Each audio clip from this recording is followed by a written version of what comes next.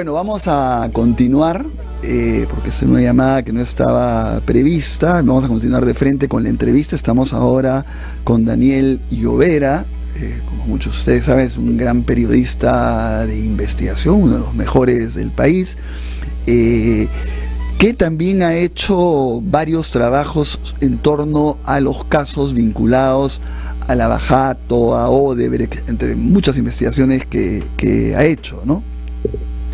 Muy buenos días, Daniel, y muchísimas gracias por estar acá. Buenos días, Ernesto. Al contrario, un placer estar aquí.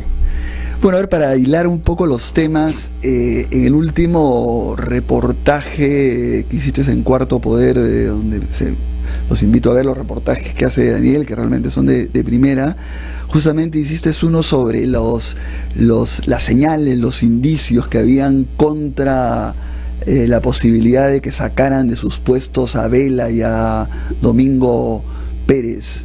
¿Te ratificas aún con esta, por ejemplo, esta decisión a favor? ¿Tú crees que se viene el cambio de este equipo especial de fiscales? ¿Cómo, cómo ves? Hay varias señales que nos hacen pensar eso, ¿no? Eh, permítame sí. primero, Ernesto, comentar lo que dijo el doctor Germaná. Eh, entiendo por la cantidad de investigaciones, de procesos eh, disciplinarios que hay abiertos contra el fiscal José Domingo Pérez, que el fiscal Germaná tiene además otros, eh, eh, él ha dispuesto otros, otras investigaciones en control interno contra el fiscal José Domingo Pérez. Y se, es evidente que se ha impuesto el criterio de la fiscal suprema de control interno, la doctora Zoraida Ábalos, quien hace 15 días, el 15 de, el 5 de diciembre, emitió una resolución respecto de una fiscal superior del Callao, que había publicado un artículo en el diario La República invitándolo a renunciar prácticamente al fiscal de la Nación, el doctor Gonzalo Chavarri por el caso de los cuellos blancos del puerto. Cuando la fiscal superior del Callao publicó este artículo, el fiscal de la Nación le pidió a la doctora Zoraida Ábalos, eh, le, le, envió un oficio y le dijo, mire, esto actúe conforme a sus atribuciones, o sea, abra la investigación. La fiscal Zoraida Ábalos lo hizo, pero el 5 de diciembre resolvió que la fiscal del Callao había actuado conforme a su derecho a la libertad de expresión, a la libertad de opinión consagrados en la Constitución, consagrados en los convenios eh, sobre derechos humanos, sobre libertad de expresión, etc. E, e, ese, esa idea la, ha recogido el fiscal Germana felizmente, porque la opinión que, que emitió el fiscal José Domingo Pérez en el programa de Mavila Huerta, mi compañera, en América Televisión, era eso, una opinión. Claro. Eh, no había habido insultos, no había habido agravios de, ni, de, ninguna, de ninguna naturaleza, no había habido difamación. Así lo ha entendido el fiscal Germán y por eso ha, ha, ha, resuelto de esa forma, siguiendo la línea, insisto, de la doctora Zoraida Ábalos. Muy bien, el fiscal suprema de control interno. Disculpa que estoy un poco mal de la garganta. Ahora. Estamos. Estamos, sí, sí. ¿Cuál, ¿Cuáles son estas, estas, estas, estos signos, ¿no? estas señales de que, de que algo, algo pod podría venir contra los fiscales Rafael Vela y José Domingo Pérez? Yo considero que hay de dos tipos, ¿no? Uno que es el de las hostilizaciones, eh, los bajos mensajes, y, los otros son eh, los, los, eh, las acciones de tipo legal, ¿no es cierto? Por ejemplo, la hostilización, el amedrentamiento, están, por ejemplo, eh, la, la, la, el forcejeo de la chapa de la puerta de la vivienda del fiscal Pérez, por ejemplo. Está eh, el hecho de que algunos trolls hayan rebuscado en la vida de, del fiscal Vela y hayan eh, informado o, o, hayan escrito algunas, algunas cosas sobre su padre, el padre del fiscal Vela. Ah, ah. Sí, sí. Eh, el hecho de que, por ejemplo, le, le hayan pedido, eh, eh, hayan, hayan sugerido en algún momento em, que la salud mental del fiscal José Domingo Pérez no andaba bien, ¿no es cierto? Ese tipo de golpes bajos forma parte de un tipo de amedrentamiento, de, un tipo de hostilización, ¿no es cierto?, contra los fiscales.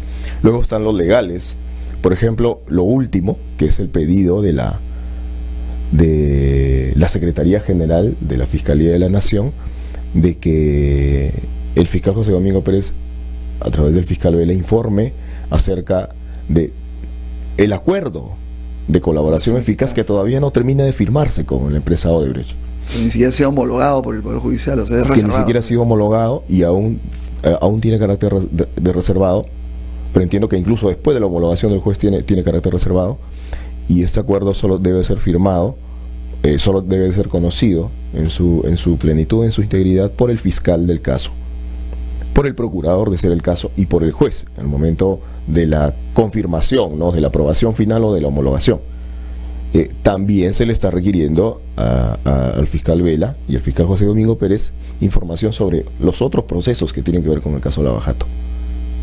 Eh, luego hay una serie de denuncias en control interno que tú has mencionado contra el fiscal José Domingo Pérez, una tras otra y tras otra y tras otra, tanto así que el fiscal Vela dijo en la audiencia del sábado pasado que ya pierde la cuenta de cuántas van, porque cada semana es una nueva.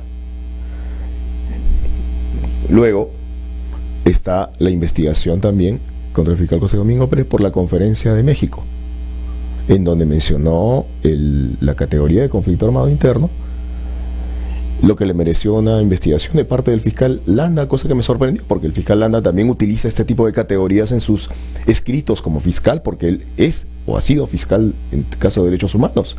Yo le encontré eh, una referencia a estas categorías en uno de esos documentos, por el caso Urresti, el caso del periodista Bustíos, perdón, y lo, y lo publiqué en el Twitter y, mucha gente se sorprendió. Claro. Entonces, eh, no sé, parece que tenemos poca memoria en, eh, muchas veces, ¿no? Sobre lo que escribimos, sobre lo que planteamos, sobre lo que decimos. Luego está, eh, e, e, eso por ejemplo, y el intento de llamarlo, ¿no? Por, el, lado político, de convocarlo a la Comisión de Defensa del Congreso por esas declaraciones en México.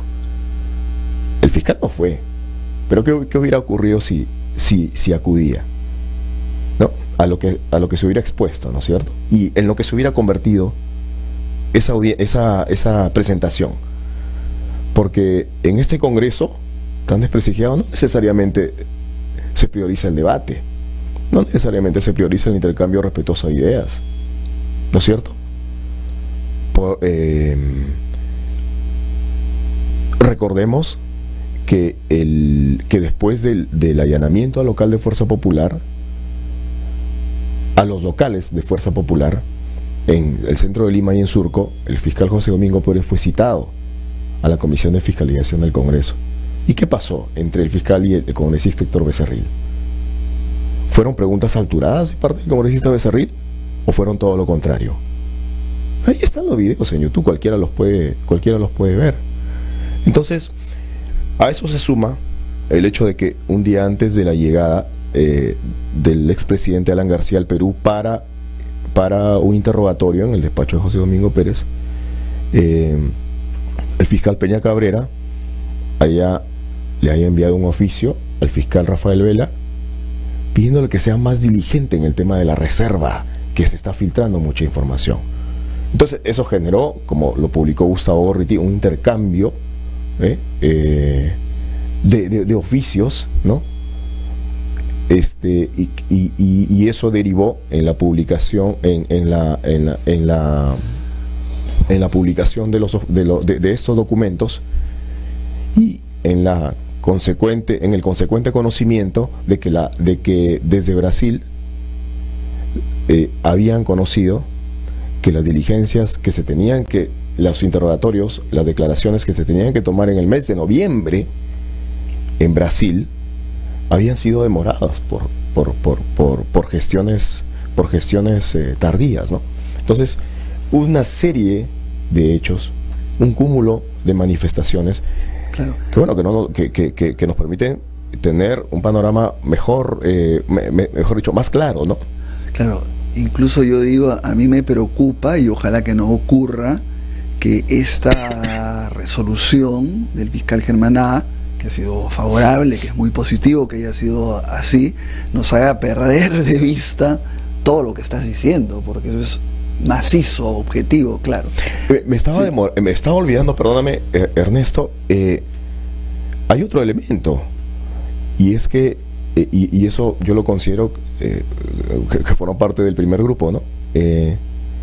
cuando, cuando intentaron involucrar a, a, la, a la esposa del fiscal Pérez en el tema del aeropuerto de Chinchero porque había sido directora de esta institución llamada Perú Compras y que, y que por eso el fiscal Pérez no había hecho gran cosa, ¿no? En, nosotros, este, en el caso, nosotros publicamos un reportaje hace un mes aproximadamente donde hicimos una lista de todas las diligencias que se habían avanzado bajo la responsabilidad del fiscal Pérez. Este, y después de eso, bueno, este, le, quitan el caso, pero lo interesante es que después de ese reportaje ya no hubo un cuestionamiento a la, a la, a la digamos, este, al trabajo, ¿no? Eh, al trabajo, a la diligencia hacia frente a esa carpeta, ¿no? Entonces, son varios hechos, varios. Bueno, como se dice en el chat, la botica es una cuestión de sobrevivencia también, ¿no? Ahora, ese es otro elemento, el chat de la botica, Uf. que los fiscales se han encargado de explicarlo muy bien en, las, en, las, en, las audiencias y eh, son de tal magnitud los mensajes en el chat de la botica que el juez Richard Concepción los recogió en sus resoluciones que ordenaban eh, la detención de la, de la cúpula de Fuerza Popular. Ahora, pasando ya a los casos concretos, ¿no? porque tú también tienes investigaciones propias en relación, por ejemplo, a lo que han sido los aportes a Fuerza Popular en el 2011, los aportes en la campaña de obras durante el gobierno de Alan García. Sobre lo primero, porque además hay que tomar en cuenta que se va a definir la apelación de la prisión preventiva de Keiko Fujimori y el primer elemento de una prisión preventiva son graves y fundados elementos de convicción de que ha ocurrido lavado de activos producto justamente de estos aportes irregulares que fueron pitufiados, que hay falsos aportantes. ¿Qué elementos tienes tú de investigación al respecto? O sea, ¿tú consideras que esto tiene un nivel ya para poder decir que hay graves elementos de convicción sobre lo ocurrido, sobre estos aportes durante la campaña del 2011? Lo que pasa es que a la, hipótesis del fiscal que indica que, esta, que estos aportes provinieron de Odebrecht, de la, de la caja 2, del, de la oficina o del Departamento de Operaciones Estructuradas, o sea, el área de las coimas, hay asoma otra línea también que es, que es interesante, que es la línea del dinero que viene de Estados Unidos. En la hipótesis, a través de, de, de, de Jorge Yoshiyama y de, y de su tío, Jaime Yoshiyama. Eh, ahí, ¿cuál es el elemento, cuál es el, elemento eh, eh, fundamental, no? Es que, que por alguna razón Jorge Yoshiyama, que es la persona, digamos, este, que, que ejecuta, digamos, este, la, las, la, la introducción del dinero, ¿no es cierto?, para, para la campaña, es quien, quien, quien busca a los, a los supuestos aportantes, quien busca colaboradores para prestar su nombre y, eh, y firmar y entonces introducir al circuito de la campaña, eh, al circuito financiero, este dinero. Pero este dinero, repito, viene de Estados Unidos también hay, hay sospecha de que este dinero haya, haya sido canalizado a través de, la, de, la, de esta asociación LBF Liberty. Y entonces, si, si, seguimos retrocediendo, ¿de dónde sale este dinero? Ellos han hablado de aportantes anónimos en Estados Unidos, pero eh, entiendo que hasta el momento esos aportantes no han prestado su manifestación ante la fiscalía. Eso va a ser muy interesante, ¿no? Eh, cuando Jorge Yoshiyama intenta introducir este dinero, busca entre otras personas a un señor llamado Giancarlo Bertini, que ahora está no habido. El señor Giancarlo Bertini busca a su vez, le pide a su vez a su mensajero, a su propia esposa, ex esposa, que firme documentos, que preste su nombre para, para introducir este dinero al, al canal de la, de la de la campaña electoral. Entonces, esos son elementos que te hacen, que te, que, te hacen este, plantearte la pregunta, ¿por qué el ocultamiento? ¿No es cierto? No sabemos hasta el momento cuál cuál es exactamente con precisión la procedencia del dinero. No sabemos por qué se manejó de esa forma. Pero estos elementos te permiten trabajar con más ahínco la hipótesis e ir más hacia atrás. Porque en el origen está, como tú lo sabes perfectamente, está el key del asunto.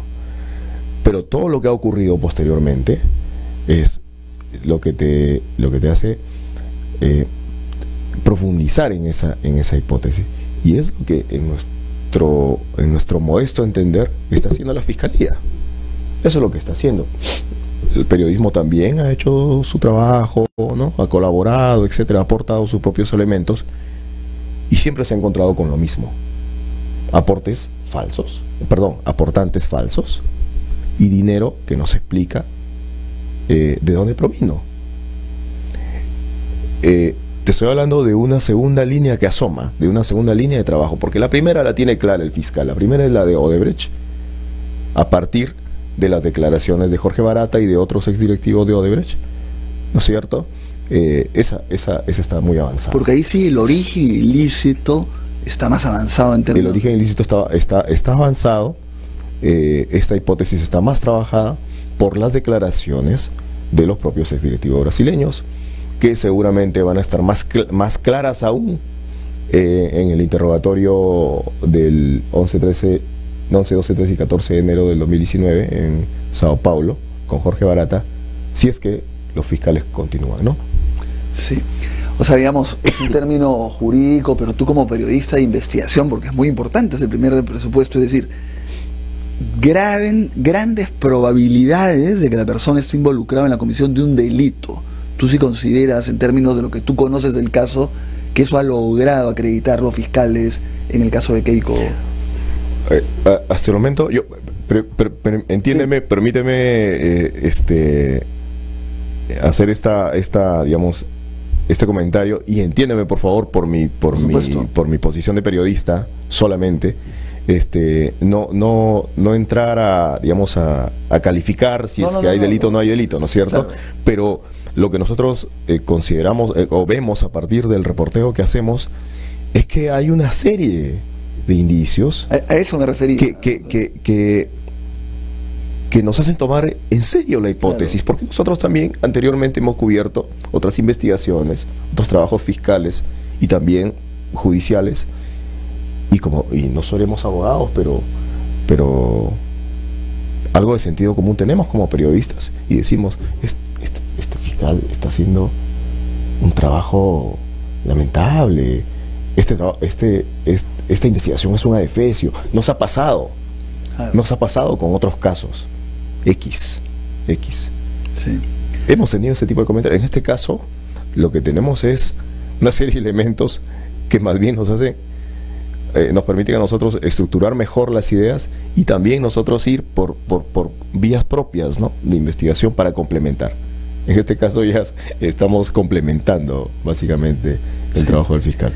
Bueno, como con todos los entrevistados, realmente el tiempo se nos queda muy corto, pero es una pregunta general para que nos digas algunos elementos, porque también he visto varios reportajes, estudios muy interesantes sobre las relaciones de Odebrecht con Alan García y con algunos funcionarios públicos. Habrás visto además las fotografías que acaba de publicar IDL Reporteros. Interesante las fotografías. ¿Ah? Interesante las fotografías, sí. A ver, algunos, algunos pequeños comentarios en los minutos que nos quedan, Daniel, sobre este vínculo, sí. Yo estaba leyendo justo hace dos semanas me hicieron llegar unos, unos, unos contactos, un, un, libro que se había, se había editado en, en otro país. Eh, y ese libro, digamos, contaba un poco las relaciones de Odebrecht con los distintos gobiernos de América Latina, ¿no? Y en el caso del Perú se referían a una eh, vieja amistad desde el primer gobierno del de, de expresidente Alan García, desde los 80. Porque hablaban específicamente de un proyecto, no, no, no, no, no quiero mencionar ahorita cuál es exactamente porque es, es, estoy en, en, pleno proceso de esa información. Hablaban específicamente de un proyecto que estaba a punto de, naufragar. Eh, pero gracias a los buenos oficios del nuevo gobierno, ¿no es cierto?, del 85 al 90, entonces eh, ese, ese proyecto como que, como que se salvó y continuó, y continuó su curso, y siguió su curso. Hubo viajes al Brasil y, y a partir de ahí se forjó una, una amistad importante, ¿no?, entre, entre el, primer gobierno de Alan García, concretamente con, el, con, con aquel expresidente, y, y, con, y con la empresa Odebrecht. Estos son datos, eh, digamos, no pretendo con esto eh, decir que ahí está, que ahí hay algún indicio de algún acto ilícito ni nada por el estilo. Pero respondiendo a tu pregunta, hay, hay pues, sí, en, este, en el caso específico que me estás preguntando, hay una, hay esa, esa, esa cercanía, digamos, este, o hubo esa cercanía, y ahora tenemos el asunto de las fotografías que ha publicado IDL Reporteros ayer, ¿no? Son fotos interesantes, como te decía, porque, claro, por un lado, eh, el expresidente le dijo a mi compañera Nusca Bonaluque que no eran sus ratas, ¿no? Estas personas que aparecen en la foto, pero por el otro, eh, están ahí en la foto, ¿no? Uh, todos ellos, claro. Eh, puede haber sido una foto esporádica, se pueden haber colado y, y, y posado al lado del expresidente, porque eh, seguramente en esa época muchos querían tomarse fotos con el expresidente. Bueno, para eso están las investigaciones. ¿no? Claro. Bueno, Daniel, muchísimas gracias por haber estado acá y se nos quedan muchos temas que abordar, pero ojalá que lo podamos hacer más adelante y felicitaciones yo, por la gran yo, labor. Sí. Yo, permítame por favor unos segundos, sí. eh, me, tomé conocimiento de que el programa no sigue más. No, no, no, no, por favor, no vayan a malinterpretar y Glatzer me... me, me ¿Sí? Es lo siguiente, que... Eh, mañana es el último programa del año. Del año. Del año, wow. se toma o sea, una, unas vacaciones. Ya pero ya en enero se va a volver a otra estación. ¿Por qué? Porque RBC ha sido vendido, hasta donde tengo entendido, a la familia Capuñay, no sé, no estoy 100%... Pero ustedes no continúan acá. Pero no se continúa, o sea, lo que sí nos ha dicho claramente es que no hay ninguna posibilidad de que se continúe acá, entonces estamos viendo una posibilidad de, de, reubicación. Somos gitanos, hemos pasado por varias no, est estaciones. ¿no? Permítame decirte sí. entonces que sí, a eso iba, que eh, tomé conocimiento de eso, lo lamento mucho porque este es un espacio plural y es un, es un espacio realmente en donde se, se tratan eh, temas a fondo, temas importantes y, y lo lamento mucho. Muchísimas gracias, Daniel, por tus palabras y también nuevamente felicitaciones por la labor de investigación Muchísimas que haces. gracias. Hacemos un corte y regresamos.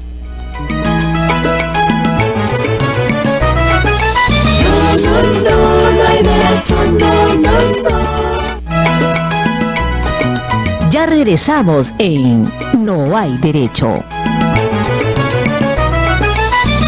No, no, no hay derecho, no, no, no.